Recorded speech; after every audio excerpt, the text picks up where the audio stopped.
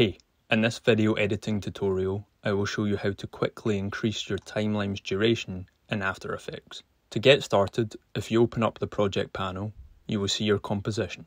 You might have multiple compositions and each composition has different timeline durations and settings. So if you select the composition which you want to increase the timeline length, and once selected, right click and click on composition settings.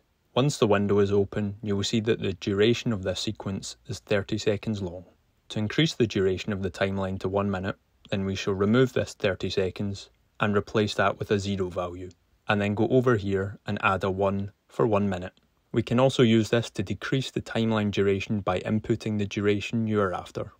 Once you have inputted your duration that you now want, if you go down to the bottom of this menu, click on OK and now you should see that your timeline has been adjusted for the length that you were after.